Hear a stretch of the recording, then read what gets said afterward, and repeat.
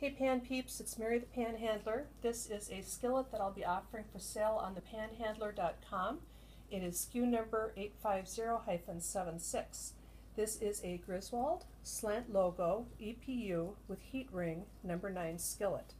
As you can see, cooking surface is quite lovely, really pretty. And the casting on the back is also very nice. It has just the slightest amount of movement when I press along the upper rim and I wanted to show that to you. It's really quite slight. The pan does not rock, it doesn't wobble, it doesn't spin. This pan is going to be just fine on any cooktop as long as you preheat your pan, which you should always do, of course. When I take my feeler gauge, this is a 0.30 millimeter. Let's see, it goes in right here. I checked a 0.35 and that does not work. Goes in right here, here.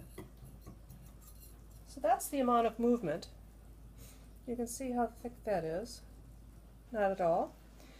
As I said, this pan is going to be just a wonderful cooker on any cooktop. Look at that beautiful cooking surface.